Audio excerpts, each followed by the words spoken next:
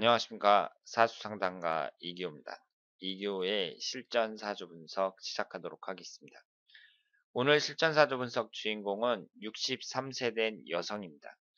이분의 직업이 좀 특이한데요. 어떤 내용인지 소개글을 한번 읽어보도록 하겠습니다.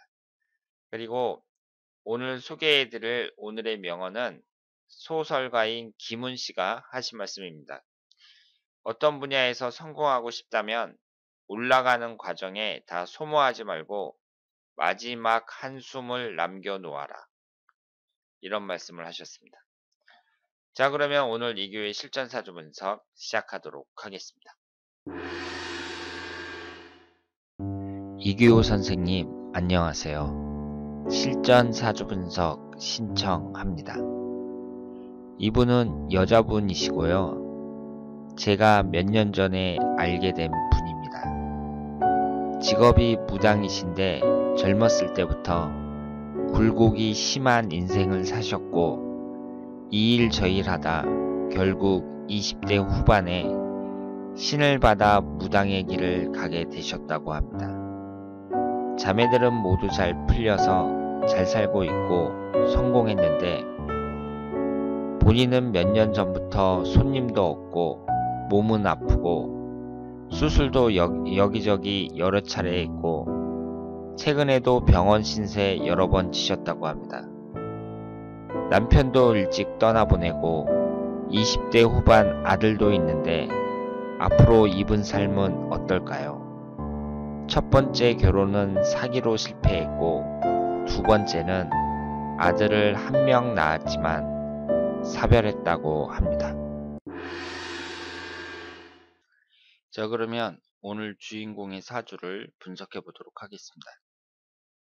여러분들이 소개글을 읽어보신 것처럼 이분이 직업이 무당입니다. 무속인이고요.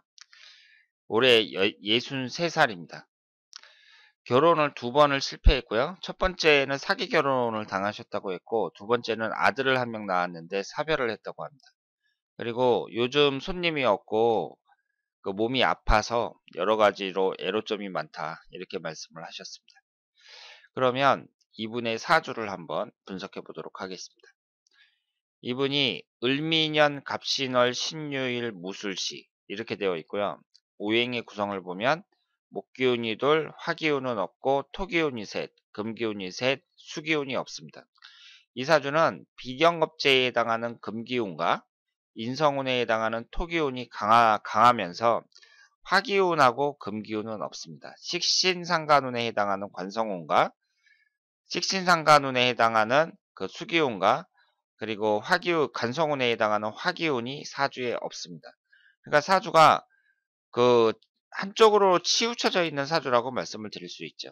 그러니까 사주라는 것은 그 오행이 골고루 들어있는 사주가 좋은 사주인데 이렇게 치중되어 있다는 것은 약점을 갖고 있는 사주라고 볼 수 있습니다. 하지만 한쪽으로 치우쳐져 있다는 것은 그만큼 특징이 강한 거니까요. 그 특징에 맞게 내가 직업을 구한다든가 그러면서 거기에 맞, 맞게 잘 산다면 얼마든지 멋진 인생을 만들어 날, 만들어 나갈 수 있다고 생각을 합니다. 그리고 우리가 그 뭐 무속인이라든가 아니면 스님이라든가 종교인이라든가 뭐 이런 사람들이 됐을 때 그러니까 영적인 세계를 추구하는 사람들 이런 직업을 갖고 있는 사람들은 여러 가지 특징이 있는데요. 일단은 지지를 봤을 때 화개살이 강한 사람들이 많습니다. 지금 이분도 지지 네 글자 중에 두 글자가 화개살이잖아요. 이 화개살의 특징이 뭐냐면요. 철학이라든가 종교 같은데 심취하는 경우가 많습니다. 그러니까 그 종교인이 되는 경우가 많다. 이렇게 말, 말씀을 드릴 수 있고 이 무속인들도 뭐 신을 받았다느니 뭐 이런 말을 하지만 종교인 중에 한 명이라고 이렇게 넣어줘야죠. 그러니까 뭐 목사님들이나 수녀님들이나 무속인들이나 무당이나 뭐 똑같이 그 영적인 세계를 추구하는 사람들이다. 이렇게 생각을 하시면 되겠습니다. 그리고 이 유금을 깔고 있는 사람들이요. 이 유금을 깔고 있는 사람들이 예지력이 좀 뛰어나다고 말씀을 드릴 수가 있어요. 그래서 그 박소무당이라고 하나요? 그 남자 무당들 보면은 닭 벼슬 이렇게를 머리에 쓰고서는 막 그 구슬하고 그러잖아요.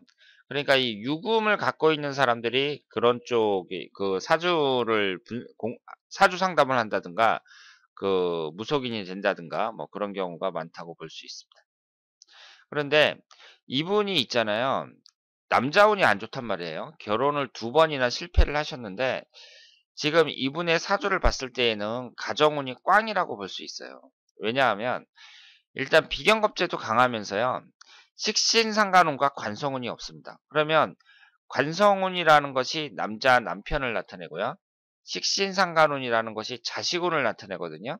근데 이 두 개가 없어요. 그러니까 가정운이 꽝이라고 볼 수 있죠. 그래서 아들 한 명이 있다고 했습니다만은 일단은 남편 을 남편 운이 상당히 약하다고 볼 수 있고요.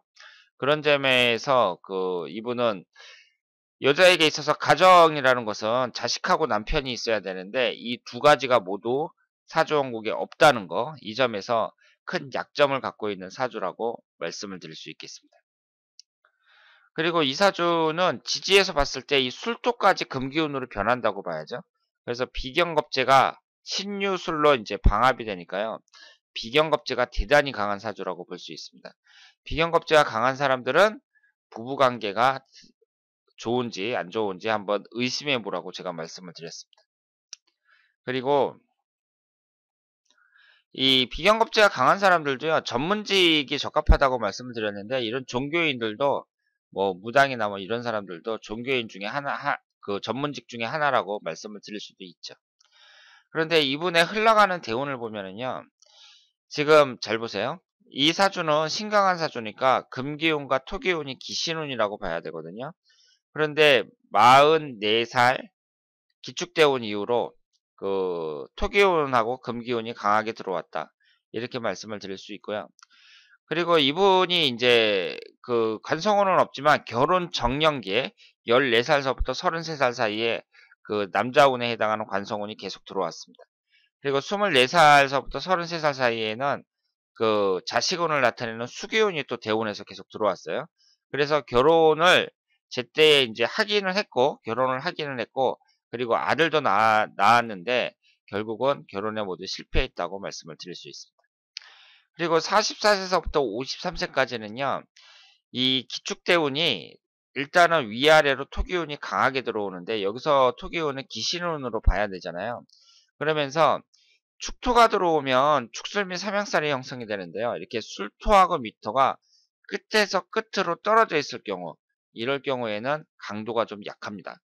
그런데 이분 같은 경우에는 이 축토가 어차피 기신운으로 강하게 들어오니까 이 삼형살의 영향까지 받는다고 봐야 됩니다. 그리고 54세서부터 63세까지 최근까지는 이제 청가는 금기운, 지지는 인유 원진살이 들어왔고요. 내년서부터 시작되는 신묘대운은 지지가 묘유충으로 깨집니다. 그러니까 이분의 입장에서는 일단 흘러가는 운이 그렇게 좋지는 않다고 봐야 되고요. 특히 내년이 무술년이잖아요. 그럼 내년 무술년을 어떻게 봐야 되느냐? 인성운이 강하게 들어온단 말이에요. 그러면 이 인성운이라는 것이 뭘 극하죠? 식신상간운을 극하잖아요. 토기운이 수기운을 극합니다. 그러니까 식신상간운이라는 게 건강운을 나타내거든요. 그래서 내년에는 몸이 더욱 아파질 가능성이 높다. 이렇게 말씀을 드릴 수 있습니다. 그런데 그 안 좋은 운이 들어온다고 해서요. 나 내가 꼭 안 좋아질 것이다. 이렇게 생각하지 마시고 내가 어떻게 대처하느냐에 따라서 훨씬 더 보람 있고 행복하게 보낼 수 있다. 이런 마인드가 필요하다고 생각을 합니다. 그리고 이것은 내년의 월운인데요. 월운이 이제 1월달 개축월서부터 12월달 갑자월까지 이렇게 쭉 진행이 된단 말이에요. 근데 이분 같은 경우에는 지금 금기운하고 토기운이 기신운이라고 봐야 되니까 7월달, 8월달, 9월달 1년 중에 이때가 가장 안 좋다고 봐야 되고요. 그리고 그 지지가 묘유충으로 깨지는 3월달 을묘월 이 3월달 을묘월, 을묘월 같은 경우는 천간지지가 다 충을 받잖아요.